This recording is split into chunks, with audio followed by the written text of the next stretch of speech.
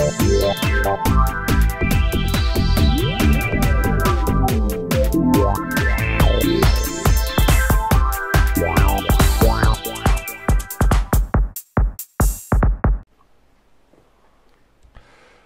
och välkommen till en videosektion som idag handlar om Super Mario Bros 3 till Nintendo Entertainment System från 1988. Spelet skiljer sig från föregångarna en massa förändringar. Spelet inleds med att Mario eller Luigi är markerad på en karta. Spelaren förflyttar figuren och spelar igenom banan. Den kan utspelas utomhus, under jord, i grottor, slott eller flygande fartyg. I slutet av varje värld möter spelaren en av Bowsers barn som har trollstavar som de har stulit från kungarna i svampriket.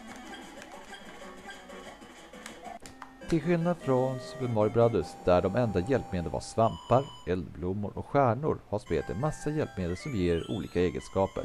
Dessa är bland annat löv som gör att Mario kan flyga i luften i några sekunder.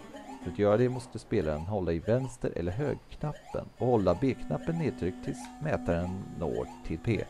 Jag har ingen aning vad P står för. Power är min gissning. P-vingen är som vanligt löp fast man kan flyga obegränsat tills man klarat ut banan eller förlorat den efter att ha skadat sig.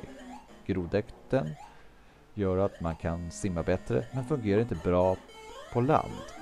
Och tvättbjörnsdräkten som gör att Mario kan förvandlas till en staty och lura fienderna. Jag tyckte att spelet var jätteroligt när jag var barn och tycker fortfarande om det. Den är mer öppen och har snygga miljöer.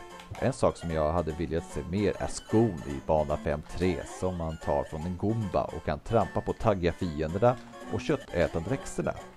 Super Mario Bros 3 var det första spelet vi hade en strategiguide som avslöjade hemligheter att hitta hemliga svamphus och hemliga rum med bland annat magisk flöjt som förflyttar till en plats där spelaren kan spela en annan värld, vilket gjorde att man kan klara ut spelet snabbare.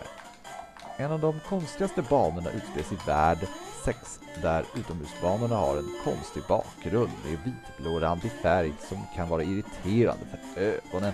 Jag undrar, vem kan komma på en sådan märklig idé av bandesign? Spelet finns i Super Mario Bros All-Stars till Super Nintendo, Super Mario Advance 4 till Game Boy Advance, Super Mario All-Stars 25 Anniversary till Wii och till Virtual Console.